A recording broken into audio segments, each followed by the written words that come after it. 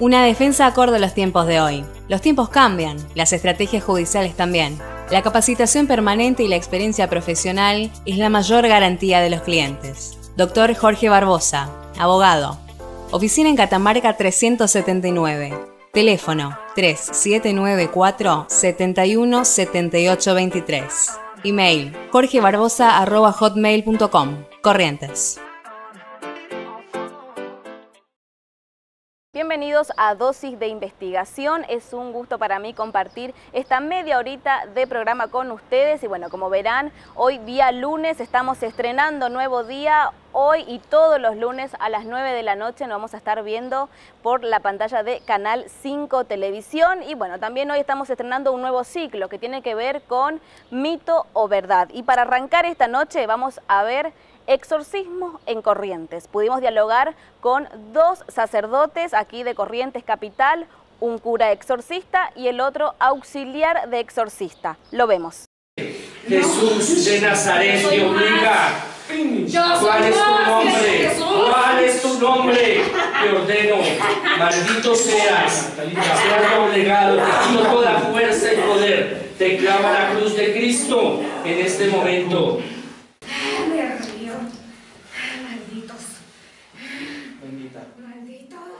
Bueno, Padre Esteban, muchas gracias por recibirnos y bueno, por estar acá con nosotros y haber prestado un poco de su tiempo para, esta entrevista. Cuéntenos, ¿de dónde es usted? Yo soy de Saladas. Y bueno, eh, tengo 35 años de sacerdote. Voy a cumplir los 35. Bueno, Padre Roque, cuéntenos, eh, ¿hace cuántos años usted es sacerdote? 13 años de sacerdote. Eh, y sí, este año cumplo los 14, eh, este tiempo de, sacerdote, digamos. ¿Y de dónde es? Yo soy oriundo de Saladas también, eh, somos compolano con el padre Esteban, y bueno, por allí hay una, una familiaridad, una cercanía con él, es mi padrino también en cuanto a la presentación al, al, seminario, eh, el acompañamiento desde cuando fui candidato a, a, las sagradas órdenes, él me acompañó en todo momento. Y bueno, y seguimos estando juntos hasta en esto. Como sabemos, usted es, es reconocido acá en Corrientes Capital por el hecho de que usted es sacerdote, pero además es eh, exorcista, ¿no? Si está bien utilizada la palabra. ¿Qué significa exorcismo? El exorcismo es una oración, una oración de la iglesia que está dentro de los sacramentales, es una oración a Dios. Toda oración en la liturgia está dirigida a Dios Padre. Es por eso que decimos por Jesucristo nuestro Señor, cuando terminan las oraciones. Es una oración a Dios Padre en el que mm, en primer lugar se pide la protección del sacerdote, de la gente que está, ¿no es cierto? Se leen lecturas eh, de la palabra de Dios, salmos, se pide a los santos también protección, y luego se hacen eh, dos oraciones, una de liberación y otra llamada justamente de exorcismo, en el que se le pide a, se le ordena al demonio que salga de, de ese hijo de Dios. ¿Y en qué momento usted se convierte en auxiliar de exorcista? Y hace más o menos seis años, todavía estaba en otra parroquia cuando empecé a, bueno, siempre lo, visitaba él y, bueno, ahí empecé a, incursionar, digamos. Y después, bueno, en un, en un momento eh, el obispo me, designa auxiliar y me envía a hacer los cursos pertinentes. Usted es, cura, ¿no? Eh, ¿Cómo se inicia usted en este, en este camino del exorcismo, dedicarse a esto?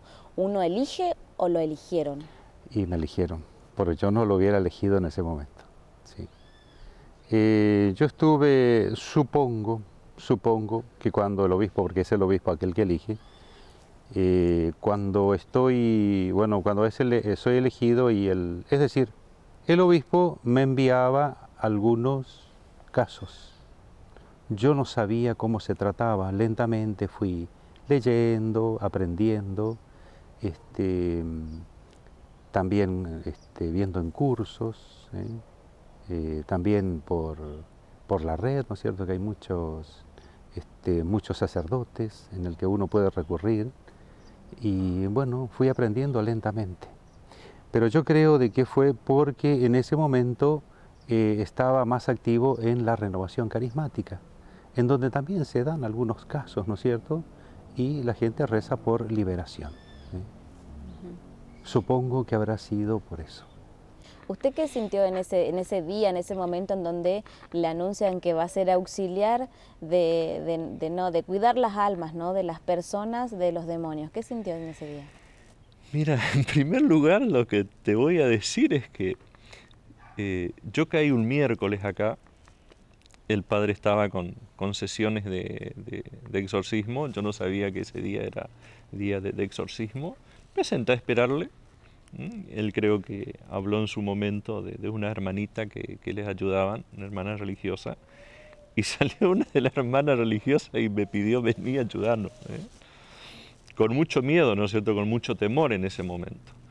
Y, después el padre Esteban habló con, el obispo y ahí es donde se, el, obispo me, designa auxiliar y me envía a hacer los cursos. ¿Qué sentí cuando el obispo eh, me me dice, sí, ¿no es cierto? Vas a ser auxiliar.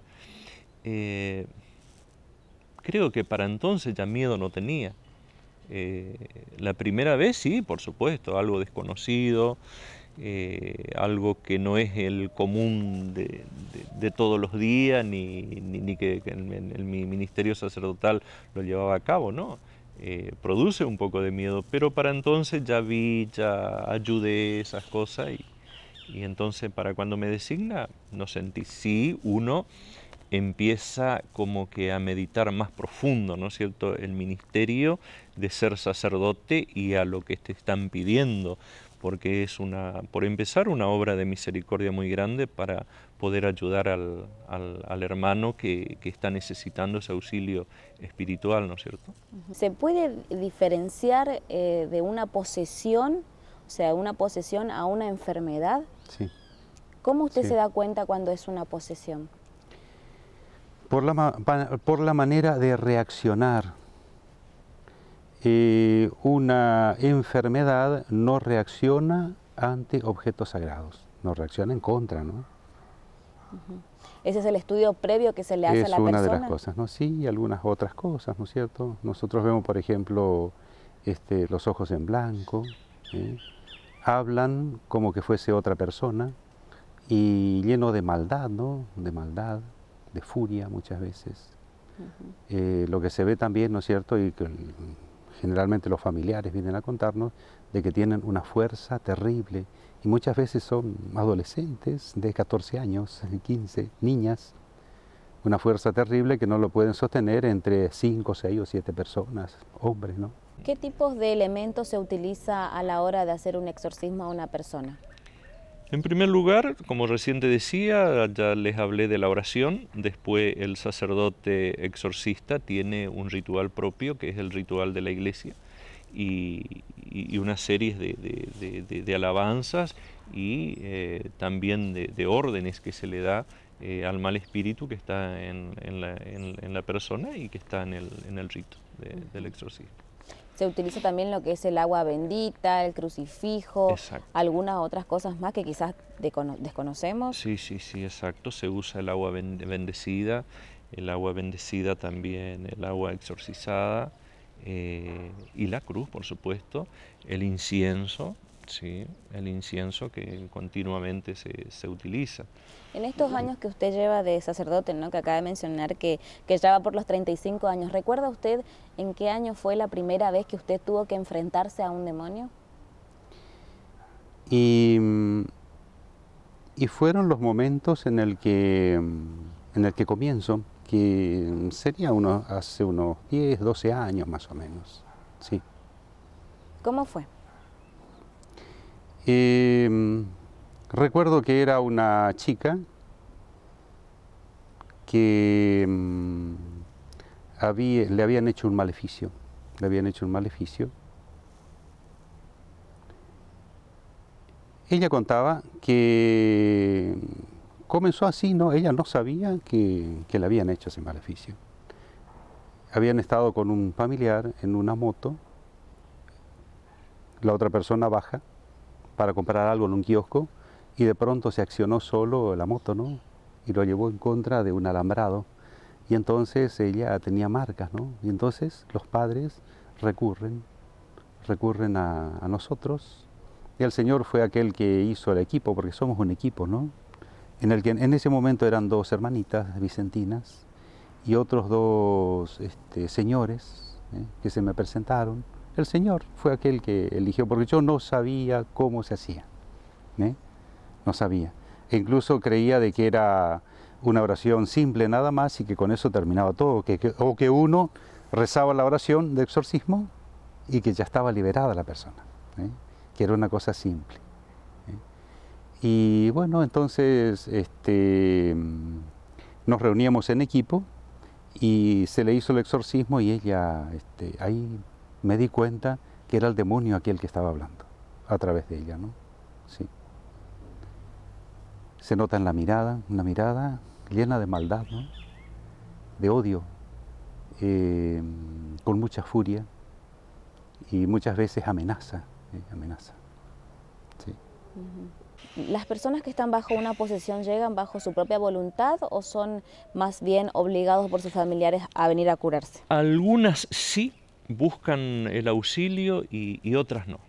Otras no, tienen que venir este, como es un poco empujadas, digamos, traídas, ¿eh? y, a muchos los tienen que traer por la fuerza, porque hay veces ya los, los médicos, los psiquiatras, eh, ya directamente le dicen hasta aquí llegamos, no, no podemos hacer más nada, y, recurren a la fe, ¿no es cierto? Eh, muchas veces las, las personas, ¿no? Eh, al escuchar la palabra exorcista lo relacionan mucho con las películas, con la ficción. ¿Es así una sesión de, de, exorcismo o no? Cuéntenos un poquito. Sí, eh, en algunas cosas se asemejan y otras superan. Hay veces superan la ficción a pesar de ser ficción y que por ahí nos yo antes, eh, antes de incursionar en estas cosas, decía, pero qué exagerados que, son, antes de ser, de, ejercer el ministerio sacerdotal, eh, inclusive. Pero después, en la realidad, uno ve que muchas veces supera, supera la ficción. ¿Nos puedes contar un poquito por qué dice que superan la ficción? ¿Qué ha visto usted? Supera en el sentido de, muchas veces eh, el ataque al mismo eh, poseído. ¿Eh? Y, otras cosas más, ¿no es cierto? Que en este momento no, me viene, pero eh, tengo muy presente la fuerza de la persona, es algo impresionante, y cómo muchas veces trata de golpear a la persona contra el piso. Al no poder contra el poder de la oración, trata de dañar también a la misma persona en la que está el espíritu. Eh, y que muchas veces en las películas eso, eso no muestra, ¿no es cierto? Eh, pero es... Una cosa es contar y otra cosa es vivir la realidad. Hay muchas cosas que por más que quiera explicarla, eh, no voy a poder explicar. Es como decir, qué sé yo, tengo una alegría tremenda pero no puedo explicar. Bueno, esas cosas también incursionando en lo negativo eh, muchas veces uno ve, uno observa, uno vive, eh, pero no se puede llegar a explicar con, palabras. ¿eh? Falta palabras, parece, para explicar muchas veces. quizás leyendo la, oración, que, ¿qué hizo ahí usted? ¿Pudo liberarla? Bueno, el que libera es el Señor, ¿no? Yo simplemente hago la oración, el que libera es el Señor. En muy pocas oportunidades se libera en la primera sesión. Generalmente duran bastantes, algunas más, otras menos. Tiene mucho que ver también, ¿no es cierto?, el, grado de, del estar involucrado en el asunto. Muchas veces hicieron pactos diabólicos, este, otras veces fueron a, sesiones en el que mm, el demonio de pronto se introdujo en su ser como que abren las puertas, abren las puertas al demonio. Hay veces que lo hacen como juegos, con cuestiones de adivinación, de horóscopos, cuántas veces también por internet. Muchas veces nos encontramos incluso con niños, con adolescentes, que comenzaron con jueguitos, parecían este, muy inocentes y sin embargo de pronto se encontraron con, con que eran juegos diabólicos. ¿sí? ¿Alguna vez le ha tocado enfrentar al que le dicen al propio Lucifer o que ha caracterizado con distintos nombres, pero más particularmente se lo conoce por eso? ¿Le ha tocado enfrentarse a él? Cuando mm, lo poquito que yo incursiono, ¿no es cierto? El padre, el que tiene más experiencia en esto, pero lo poquito que yo pude ver es cuando, porque el padre exorcista en un momento le ordena en el nombre de Jesucristo y de la iglesia, este, de los santos mártires, de los santos y los santos mártires, eh, que diga quién es. Y dice, y cuando está Lucifer, por ejemplo, es eh, tremendo, como es, de agresivo, muy agresivo. Eh, cada, cada, demonio parece que tiene su particularidad de cómo reaccionar. ¿Cuántos demonios puede poseer una persona en su interior? Hay veces que hay legiones. Muy pocas veces solamente un, demonio. Generalmente son legiones de demonios. ¿Y por qué son tantos? ¿A qué se debe esa magnitud de demonios? Em, el demonio lo que quiere es destruir la obra de Dios. Y la obra más grande que el Señor realiza es el hombre, es la persona humana. Y mucho más cuando es hijo de Dios, ¿no es cierto? Él quiere destruir la obra de Dios, quiere destruir la iglesia, quiere destruir el camino que nosotros estamos caminando hacia el encuentro con el Señor, el encuentro definitivo. Entonces lo que hace es tratar de, tirar abajo, digamos, toda esa obra de misericordia que el Señor hace con cada uno de sus hijos. ¿Alguna persona puede nacer ya con este demonio o con el tiempo lo va poseyendo? Con el tiempo con el tiempo, por las prácticas, y hay veces tampoco la persona no, no, no, no es que llega a la práctica porque hay casos de, seres chiquitos que son pequeños, que son perturbados, quizás por allí por la misma práctica de la familia, por el no practicar absolutamente nada, por haber ido a lugares eh, contaminados, eh, donde se practican otro tipo de cosas, eh, y muchas veces sucede así. El, demonio elige, digamos, a la persona, quizá puede ser, por lo que se dice, un espíritu más débil, una fe débil. Yo creo que hay personas, él, está al acecho siempre. Y a cualquier persona la tienta o lo quiere llevar por el, por el mal camino. Pero yo veo de que hay personas que quizás sean un poco más débiles, quizás débiles en la fe, hay personas que no rezan, personas que no tienen este, mucha capacidad para defenderse espiritualmente, porque uno se defiende orando con los sacramentos, eh, confesándose, comulgando, haciendo su oración, yendo a la misa los domingos, rezando el rosario. El rosario es un veneno contra, en contra del demonio. Cuando todo eso no hay, eh, como dice el Evangelio, ¿no es cierto?, encuentra la casa vacía y puede entrar. Sí. Y yo creo de que en, en muchas personas, eh, quizás quiso hacer más daño y no pudo hacerlo gracias a que se encontraba con ese escudo que es la fe, la esperanza, eh, la presencia de Dios en su vida. ¿Cuántas, cuántas horas puede llegar a, llevar este proceso de, en el día? Y hay algunos que, son cortos, otros son largos. Eh, no, no, no, es que podemos decir eh, eso es un tiempito y nada más, eh, tantos minutos y nada más no, porque eh, hay, hay, hay, momentos, ¿no es cierto?, que se hace toda la, oración de, de, exorcismo y, ahí recién empieza la agresión del, espíritu del que está en, la persona. Y como es con el rezo del rosario, eh, creo que el padre hoy les hablaba del rosario, que es veneno para, los malos espíritus, y es así, molesta mucho. Eh, entonces muchas veces eh, hay que seguir después de la, de, la oración del exorcismo, hay que seguir rezando, orando, rezando el rosario, alabanza al Señor. ¿Dónde se realiza el, ritual de exorcismo? ¿En una iglesia o puede ser en alguna casa o en otro lugar? se hace generalmente en la iglesia después de hacer este ritual de exorcismo, ¿no? ya que usted dice que es un proceso que lleva eh, varios días, ¿usted qué hace luego de, un ritual de estos? tiene una oración especial, algún baño especial, algo de eso, porque usted también, aparte de ser sacerdote, es persona, ¿no? Claro, en primer lugar se prepara, uno se prepara, ¿no es cierto?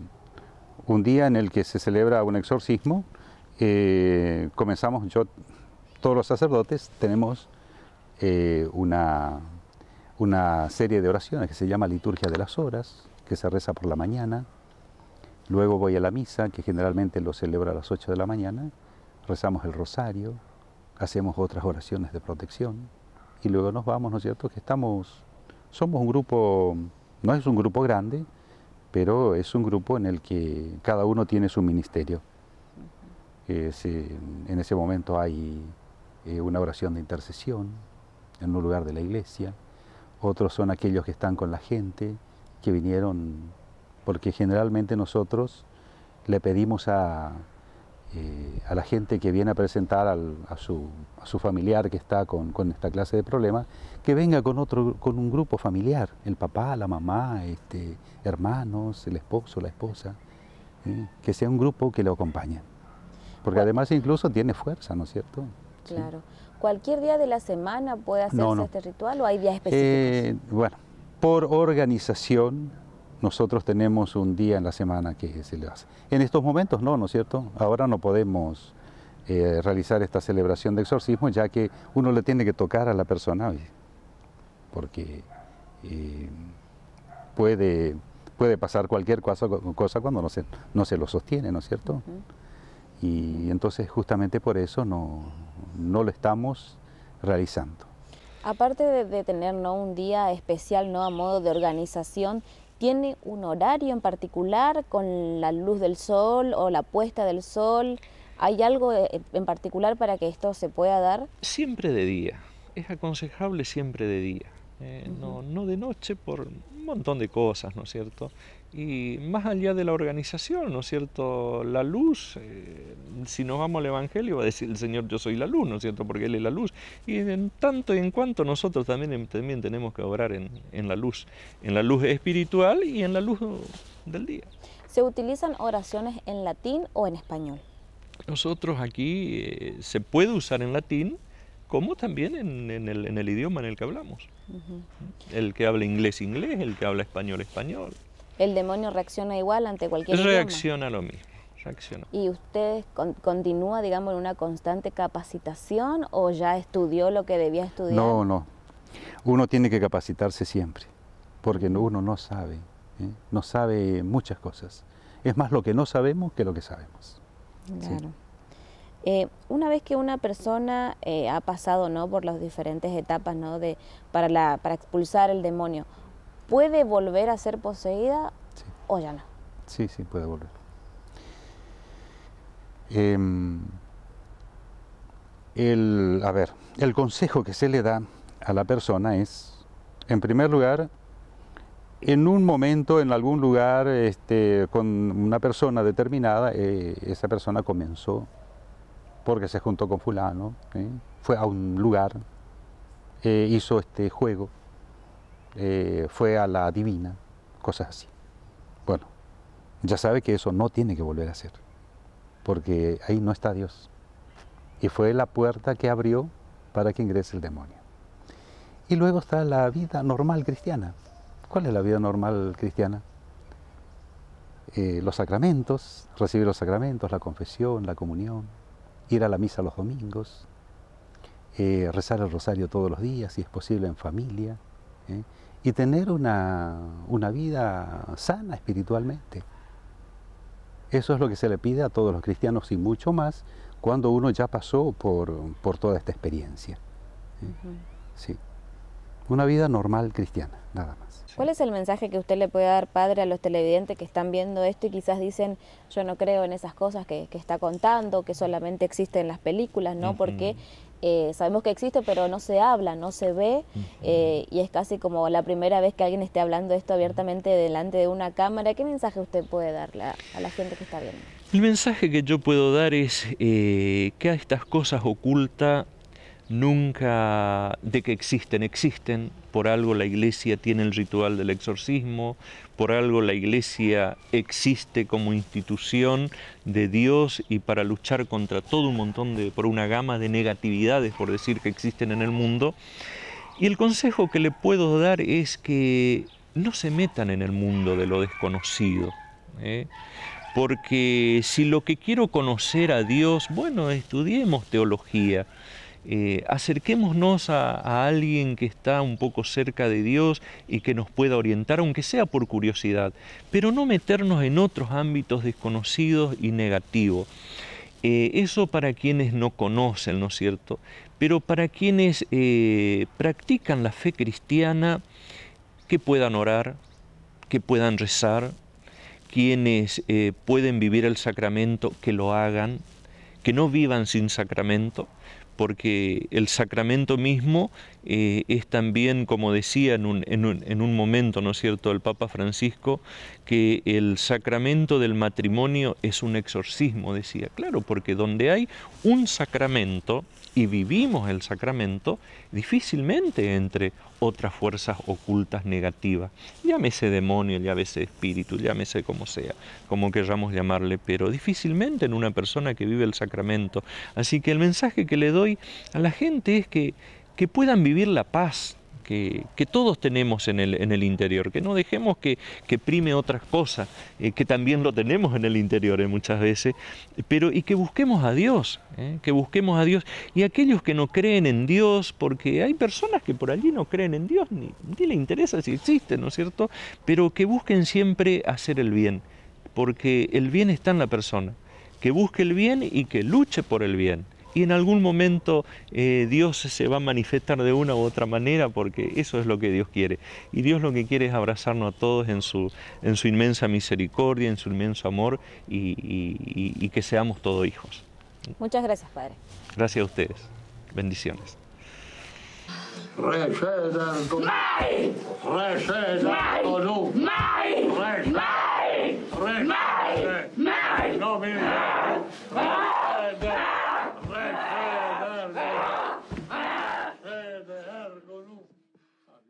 Como pudieron ver y escuchar a los dos sacerdotes eh, narrando ¿no? sus historias con respecto al exorcismo aquí en Corrientes Capital, hace más de 12 años que lo hacen, ayudando ¿no? a toda la comunidad a combatir lo que son las sombras. ¿no? Aquellos pueden creer o no, pero de que existe, existe y es una realidad que se vive aquí en nuestra ciudad. Agradecemos, por supuesto, al sacerdote Esteban Gamarra y al sacerdote Franco Roque, quien tuvieron la, amabilidad ¿no? de poder sentarse frente a nuestras cámaras y poder compartir un poco de su sabiduría y su experiencia con respecto a esto.